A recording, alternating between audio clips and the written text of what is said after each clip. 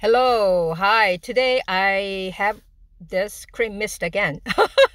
I did it a couple of weeks ago, uh, but then I really, really like it, and uh, I'm using it so many times per day. I would say three, four, five times a day.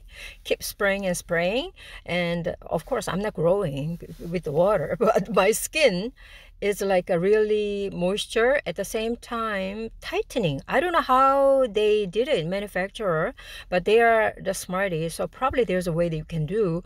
Uh, I remember their ingredients is uh, heavily on the goat milk and the oatmeal and the artichoke. Uh, but I think uh, there's like a really amazing technology applied.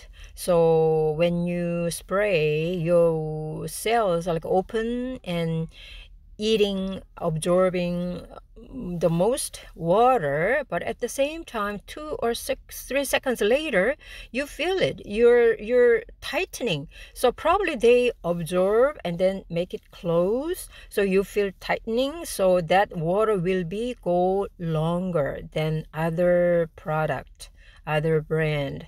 So this is like a really there's something I don't understand because I'm not a scientist, but that's what I feel it. Really spray when you spray it, you just really feel yeah, moisture and then and the tightening. so uh, this is a really awesome product as a gift oh yeah there is like a valentine's day coming so it is is, is a good gift. Give it away to your girlfriend or to the man it doesn't matter. It, i think it's a, like a co-ed product. So uh, yeah it's like a really uh, handy.